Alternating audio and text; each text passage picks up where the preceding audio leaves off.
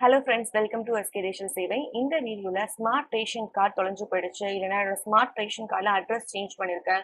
எனக்கு வேற ஒரு ஸ்மார்ட் ரேஷன் கார்டு வேணும்னு சொல்லிட்டு நினச்சிட்டு இருக்கீங்களா? நீங்கள் ஈஸியாக ஒரு நிமிஷத்தில் உங்களோட ஸ்மார்ட் ரேஷன் கார்டில் ஆன்லைனில் புக் பண்ணி வாங்கிட முடியும்.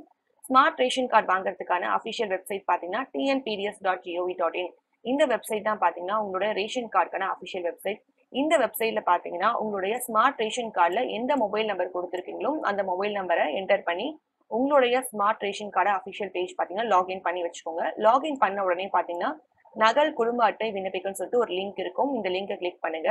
இந்த லிங்கை கிளிக் பண்ண உடனே பார்த்தீங்கன்னா உங்களுக்கு இந்த மாதிரி ஒரு பேஜ் வந்து ஓப்பன் ஆகும்.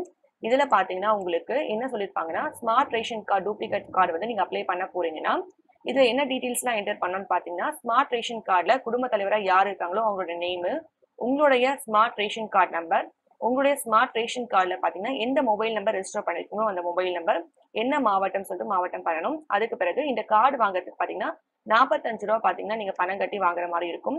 அதுக்கு பிறகு பணம் செலுத்தும் பொழுது நீங்கள் இண்டிவிஜுவலாக உங்களுக்கு அப்ளை பண்ணி வாங்குறதா இருந்துச்சுன்னா உங்களோட ஸ்மார்ட் ரேஷன் கார்டில் குடும்ப தலைவர் யார் இருக்காங்களோ அவங்களோட நேம் என்டர் பண்ணிட்டு அவங்களோட டேட் ஆஃப் பர்த் அவங்களோட ஃபோன் நம்பர் இமெயில் ஐடியெல்லாம் கொடுத்துக்கோங்க. எல்லாமே கொடுத்த பிறகு பார்த்தீங்கன்னா இங்கே பணம் செலுத்துன்னு சொல்லிட்டு ஒரு லிங்க் இருக்கும். இதை கிளிக் பண்ணிக்கோங்க. இதை கிளிக் பண்ண உடனே பார்த்தீங்கன்னா உங்களுக்கு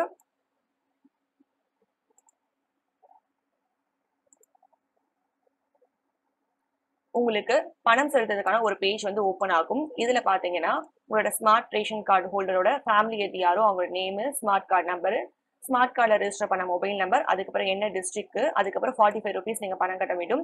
என்ன ரீசனுக்காக நீங்கள் வந்து வேற ஒரு ஸ்மார்ட் ரேஷன் கார்டு வாங்குறீங்க அந்த காரணத்தை வந்து இங்கிலீஷில் டைப் பண்ணிடுங்க. டைப் பண்ணிட்டு நீங்கள் இண்டிவிஜுவலாக அப்ளை பண்ண போறீங்கன்னா உங்கள் யார் நேமோ ஃபேமிலி எது யாரோ அவங்களோட name date of birth mobile number email ID யார் வேணால் கொடுத்துக்கலாம். கொடுத்துட்டு நீங்கள் என்ன பண்ணுங்க கேப்சா கொடுத்துட்டு பேமெண்ட் வந்து நீங்கள் கட்ட வேண்டியது இருக்கும். பேமெண்ட் பார்த்தீங்கன்னா debit card credit card GPay மூலமா எப்படி வேணா நீங்கள் கட்டிக்கலாம். இந்த பணம் பார்த்தீங்கன்னா சிவில் சப்ளையர் ஆஃபீஸருக்கு ஆட்டோமேட்டிக்காக சென்ட் ஆயிடும். பணம் கட்டி முடிச்ச பிறகு பார்த்தீங்கன்னா உங்களுக்கு அக்னாலஜ்மெண்ட் காப்பி பணம் கட்டி முடிச்சிங்கன்னு சொல்லிட்டு ஒரு ரிசிப்ட் வரும். இந்த ரிசிப்ட்டை பார்த்தீங்கன்னா ஜேபக்காவோ இல்லை ஸ்க்ரீன்ஷாட்டோ இல்லை பிடிஎஃபோ வந்து சேவ் பண்ணி வச்சுக்கோங்க. சேவ் பண்ணி வச்சுட்டு நீங்கள் என்ன பண்ணணும்னா உங்களுடைய ஹோம் பேஜில் பார்த்தீங்கன்னா நகல் குடும்ப அட்டை ஆச்சுன்னு சொல்லிட்டு ஒரு லிங்க் இருக்கு பார்த்தீங்கன்னா இந்த லிங்கை கிளிக் பண்ணுங்க. கிளிக் பண்ண உடனே உங்களோட ஸ்மார்ட் கார்டுக்கான அஃபிஷியல் பேஜ் ஓப்பன் ஆகும். இதுல வந்து என்ன ரீசனுக்காக பண்றீங்கன்னு சொல்லி கேட்பாங்க. என்ன வேணா கொடுத்துக்கலாம். கொடுத்துட்டு காரணத்தை பார்த்தீங்கன்னா நீங்க வந்து தமிழ்ல தான் இங்க டைப் பண்ண முடியும். நீங்க வந்து கூகுள் டிரான்ஸ்லேட்லயோ இல்ல தமிழ் டைப்பிங்லயோ பாத்தீங்கன்னா என்ன காரணத்துக்காக வேற ஒரு கார்டு வாங்குறீங்கிற ரீசனை டைப் பண்ணிட்டு உங்களுடைய பணம் கட்டும் போது ஒரு ரெஃபரன்ஸ் நம்பர் வந்திருக்கும். அந்த ரெஃபரன்ஸ் நம்பரும் எந்த டேட்ல பணம் கட்டணும் அந்த டேட் கொடுத்துட்டு நீங்க வந்து சேவ் பண்ணி வச்சிருப்பீங்களா பணம் கட்டின ரிசிப்ட் அதை வந்து என்ன பண்ணுவோம் இங்க அப்லோட் பண்ணிட்டு இங்கே டிக் பண்ணிட்டு நீங்கள் என்ன பண்ணணும்னா சேவ் பண்ணீங்கன்னா உங்களுக்கு வந்து ஸ்மார்ட் ரேஷன் கார்டு பார்த்தீங்கன்னா அதாவது வேற ஒரு கார்டு அப்ளை பண்ணுறதுக்கான ரெஃபரன்ஸ் நம்பர் வந்துடும் இந்த ரெஃபரன்ஸ் நம்பரை சேவ் பண்ணி வச்சுக்கோங்க.